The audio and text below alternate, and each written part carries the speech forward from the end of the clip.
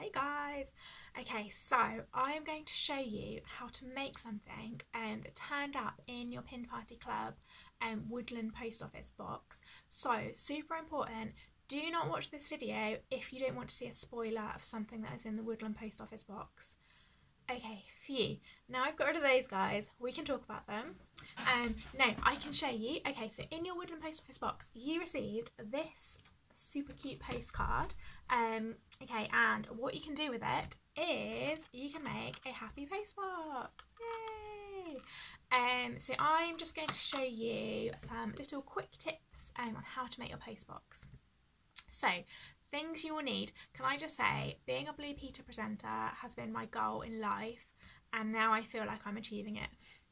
So this makes me really happy. Um, okay, things you will need: scissors, glue. Any PVA glue should do the trick. This one's really useful actually because it has a little nozzle um, and you can like angle the glue but any glue should be fine. Things that you do not need but may make your life easier are nail scissors, sellotape. Okay, so the first thing you want to do guys is you want to cut around all of the dotted lines to cut out everything like these things I cut out earlier. Huzzah! Um, okay, a little tip, guys.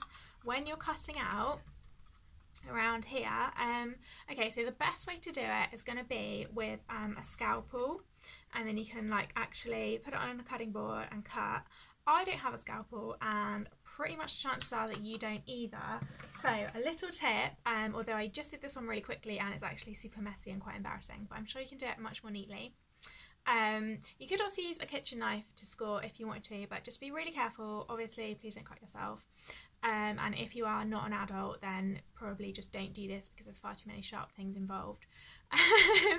okay, so what you could do is you could um, make a hole there in the cardboard, um, and then it just makes it easier to put your scissors in and then to cut and then nail scissors is really good because it's a little bit fiddly and then you can just cut round and um, it just makes it a little bit easier than cutting with these scissors because it's a little bit trickier.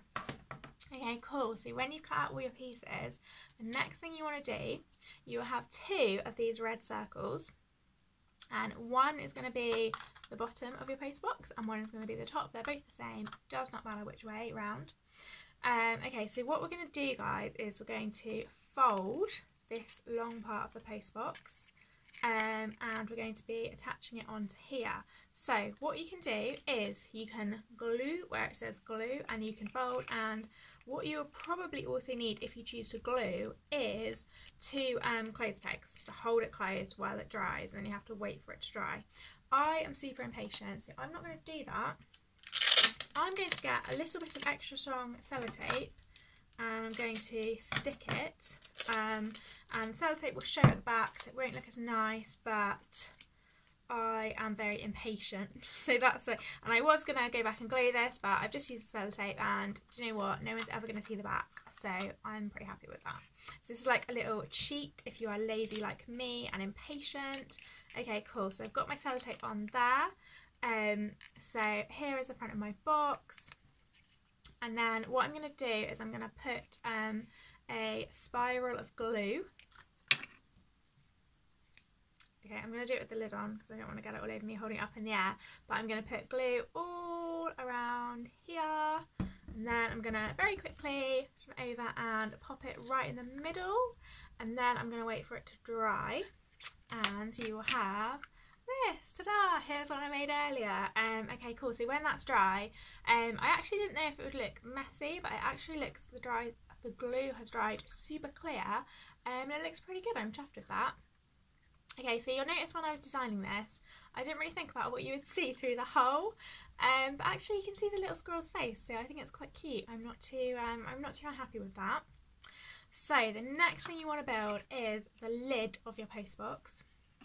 And now um, we're going to take this long bit here, which makes the lid, and I'm going to fold it around. And again, you can glue it and hold it with um, a clothes peg or a paper clip.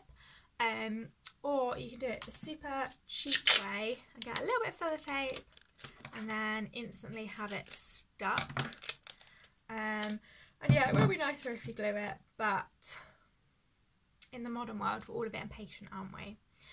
So, so yeah, so what you want to do is just make sure um, that the little flap lines up with the little edge there um, and pop the sellotape on that. And this one as well, um, I have I have sellotaped it, um, I haven't glued it and it's really not that noticeable at all guys, it's not that noticeable. Um, so it's up to you what you want to do and then you have your circle. So again I'm going to put glue all around the edge and then very very quickly I want the red colour on top so I'm going to stick it into the middle here and wait for that to dry. And then I have my lid, and of course we get our little um, our little pigeon, our posty pigeon, and we um, I'll show you with the squirrel because I didn't have one cut out. But um, yeah, the little fold line, you want to just fold along there, guys, and then you want to put a little bit of glue, and then you want to oh oh, and then you want to stick it to the top. You can put the squirrel on there if you want. Um, on this one I have chosen to put the little pasty pigeon. Okay, cool. So then um, you have your your postbox lid and it goes on the postbox and it's all super cute, ready to go on your desk. Um, so the other thing that we have is we have these two little tiny cards um, that you can write little cute messages on. Um, really love to know your ideas um, of what you want to do if you're a happy post post box. Um, but I think it would be really nice to write a little happy message and pop it in the post box and then have a look at it whenever you want to see a little nice message. Um, okay, so what I really want to do is I want to see your post boxes. Um, and I want to see them in use. That would make me so so happy. So if you do make yours, then please let me know.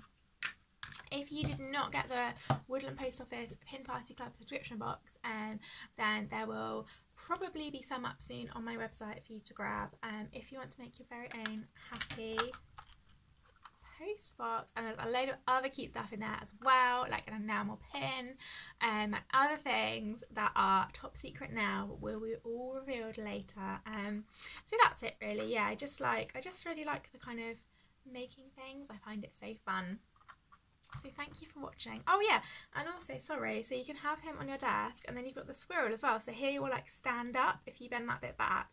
Um, and he can be like guarding the post box or whatever you want or you can put the squirrel on there and have the pigeon down there. Whatever you want to do and I really really want to see your photos and please tag them with hashtag pin party club um, and also if you want to see more of my videos then subscribe to my YouTube channel because I love love love to make them. Okay have a lovely rest of your day